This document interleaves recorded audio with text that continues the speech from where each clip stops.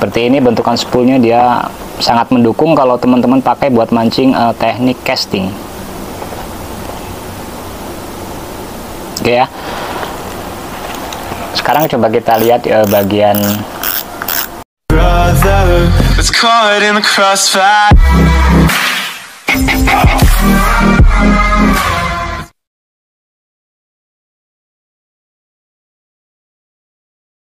Oke, Assalamualaikum warahmatullahi wabarakatuh. Kembali lagi di channel Daniel Pancing. Baik di mana pun teman-teman berada Mudah-mudahan teman-teman semua dalam keadaan sehat walafiat.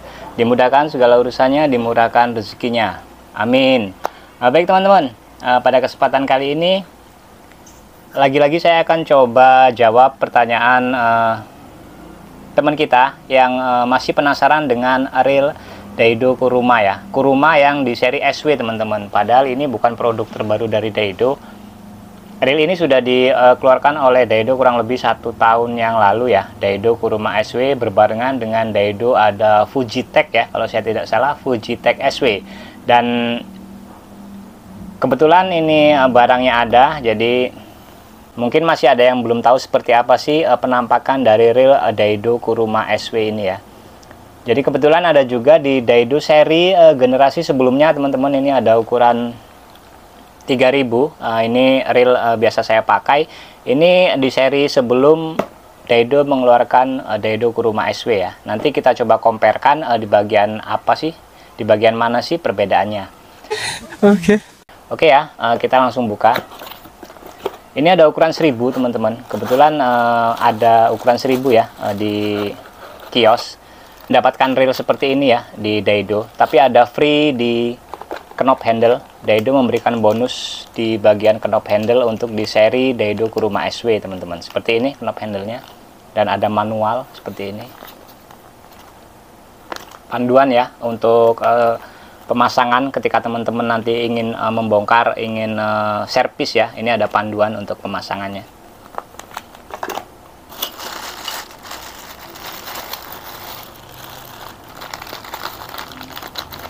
Kita buka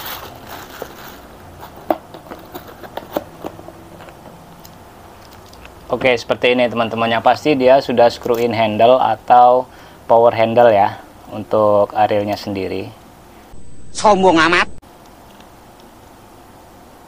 Sebenarnya sudah banyak teman-teman uh, kita juga yang membahas mengenai reel ini tapi nggak apa-apa. Uh, saya coba lengkapi lagi informasinya mengenai reel uh, salah satu keluaran dari produk uh, Daido ini ya Daido Kuruma SW dia sudah screw in handle atau power handle teman-teman. Kalau untuk putarannya smooth halus ya. Oke. Okay. sudah one way anti reverse yang pastinya. Untuk otomatisnya dia berfungsi lembut teman-teman.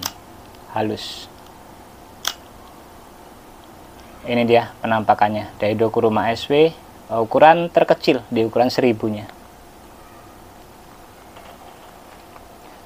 karena di Daido hanya sampai di ukuran 4000 teman-teman yang terbesar ya. 1000 sampai 4000 kebetulan yang masih ready barangnya hanya ukuran 1000 langsung saja saya buatkan uh, videonya ya. Agar teman kita bisa tahu seperti apa Daido Kuruma SW bagian depan. Belakang ya teman-teman. Bodi belakangnya.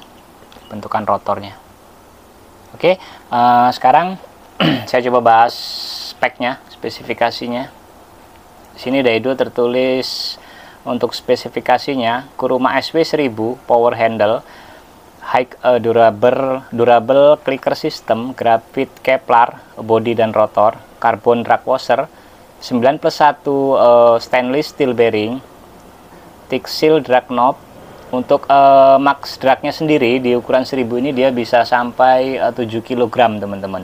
CNC aluminium spool, CNC aluminium handle, uh, interchangeable handle. Jadi handlenya nanti bisa dipindahkan ke kanan dan ke kiri kalau teman-teman tidak terbiasa uh, tangan kiri ya, teman-teman bisa pindahkan ke sebelah kanan untuk di bagian handlenya. Lalu stainless steel main gear dan N sub assembly komputer uh, balance rotor untuk speknya. Seperti ini.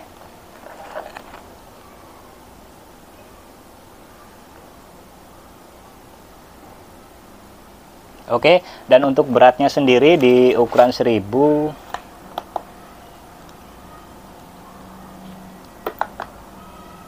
196 gram teman-teman ya untuk beratnya. Ini saya rekomendasikan ya kalau eh, teman-teman uh, mau membeli atau mau pakai reel uh, Daido Kuruma SW ukuran 1000 ini cocok buat uh, mancing teknik casting ya ultralight atau casting-casting rawa-rawa ya. Karena memang uh, di bagian spool juga ini sangat mendukung untuk mancing-mancing casting ya. Untuk mancing uh, dasaran uh, ultralight jigging kalau teman-teman suka ultralight jigging ya karena memang sudah disupport SW uh, di seri yang ada Daido Kuruma ini ya. Seperti ini bentukan spoolnya dia sangat mendukung kalau teman-teman pakai buat mancing uh, teknik casting. Oke ya. Sekarang coba kita lihat uh, bagian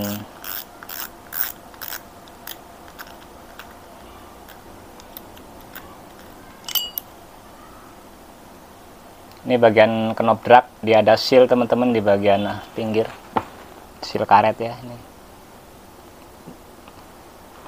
Bagian knop dragnya. Ini bentukan spoolnya cuttingnya. Nanti kita comparekan dengan uh, seri sebelumnya generasi sebelumnya. Ini ukuran 1000 bagian dalam.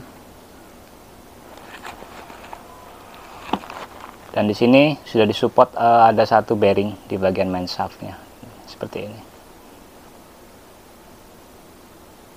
oke?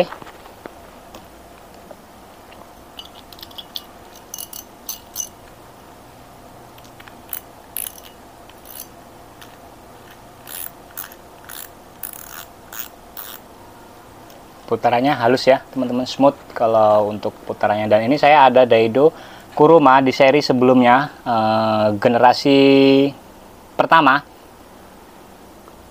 Dia ukuran 3000 ini teman-teman kebetulan saya punya di ukuran 3000 nya jadi bentukannya seperti ini kalau di ukuran 3000 di generasi sebelumnya.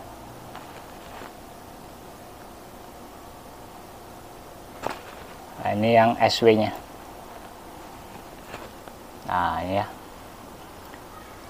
Uh, bentuknya walaupun dia yang ukuran 3000 akan seperti sebesar ini dan bentuknya seperti ini juga teman-teman. Jadi ini hanya perbandingan saja uh, bentuk perbedaannya di bagian rotor masih uh, saya rasa masih sama ya.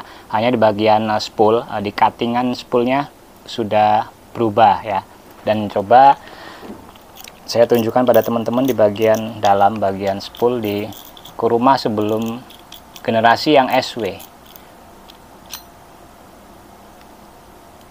Oke, ini untuk bagian knop drag di generasi pertamanya seperti ini. Belum ada seal ya, teman-teman, dan bentukan spool cuttingnya ya. Bagian dalam masih menggunakan sistem clicker uh, menggunakan pegas sistem tarik ya, kalau yang di generasi pertama. Dan di sini menggunakan berbahan plastik beda dengan yang di eh, SW tadi dan ini juga bukan bearing hanya busing yang terlihat bearing ya teman-teman di dalam di uh, pertengahan plastik yang putih ini ya. Ini hanya menggunakan seperti uh, busing tapi dia bukan bearing ya. Jadi memang tidak disupport bearing di bagian main sub di uh, Daido Kuruma generasi pertama. Oke perbedaannya di situ dan kalau di uh, Daido Kuruma SW di bagian line lure sudah dibekali juga ball bearing. Kalau di Daido Kuruma yang generasi sebelumnya, coba kita lihat.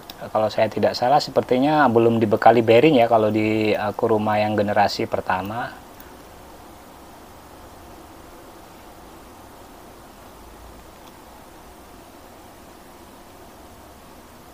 ya teman-teman dia hanya dibekali uh, busing kalau di Daido Kuruma yang generasi pertama. Belum dibekali bearing di bagian uh, line lulernya. Kalau di SW sudah ada bearingnya teman-teman di bagian line luler. Saya nggak usah buka ya karena sudah banyak juga teman-teman kita yang membahas atau mereview reel ini. Saya hanya menambahkan uh, info mengenai reel Daido Kuruma SW ini. Oke, dan kalau untuk harganya reel ini dibanderol di harga eh, 400 ribuan ya teman-teman. Jadi yang uh, berminat dengan reel Dedo Kuruma SW ini nanti teman-teman bisa lihat saja untuk link pembeliannya di kolom deskripsi atau teman-teman nanti bisa hubungi saja kontak yang saya cantumkan di awal video. Oke. Uh, barangnya hanya ready ukuran 1000 karena yang tersisa hanya tinggal ukuran 1000 teman-teman ya ini cocok buat teman-teman yang hobi mancing casting ultralight atau mancing-mancing kolaman harian ikan mas ya ultralight jigging. Nanti ini juga bisa dijadikan referensi atau salah satu pilihan uh, buat teman-teman yang sedang cari reel-reel kecil yang nyaman yang pastinya dengan disupport SW juga. Uh, kembali saya ingatkan tidak bosan-bosan untuk perawatan walaupun dia sudah dibekali label SW seperti ini saya juga tidak akan menjamin reel ini tidak akan korosi ya teman-teman. Tergantung gimana cara teman-teman memperlakukan piranti peralatan pancing teman-teman semua. Oke teman-teman uh, mudah-mudahan video ini bermanfaat. Dan uh, buat omnya siapa ya? Saya lupa namanya kemarin yang komentar uh, minta direviewkan reel ini. Saya sudah penuhi ya. Jadi seperti ini penampakan reelnya. Uh, tinggal teman-teman selera mau coba pakai atau tidaknya. Oke uh, sampai jumpa di video-video selanjutnya. Video-video terbaru dari, saya tetap jaga kesehatan. Salam wani boncos assalamualaikum warahmatullahi wabarakatuh